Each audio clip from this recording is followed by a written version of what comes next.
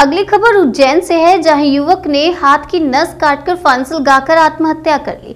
आपको बता दें, देवास से आए पूर्व प्रोफेसर ने नौकरी ना लगने के कारण उज्जैन के थाना देवास गेट दूध तलाई स्थित गुरुद्वारे में हाथ की नस काट फांसी लगाकर आत्महत्या कर ली।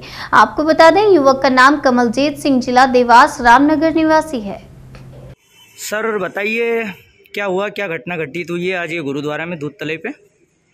ये कमलजीत सिंह नाम के व्यक्ति थे जो कि देवास में प्रोफेसर थे ऐसा मालूम पड़ा है। जो। कि इनका जॉब कहीं आठ दिन पहले डिस्टर्ब हो गया था जॉब चली गई थी। है।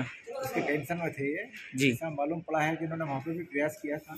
जी जी। उसके बाद में शाम को आज आठ एक दिन के बाद में यहाँ गुरुद्वारे में आकर रुके थे शाम को सात बजे। जी जी। है ना जिसमें इनने बोला था कि आठ बजे सुबह मैं चला जाऊँगा। जी।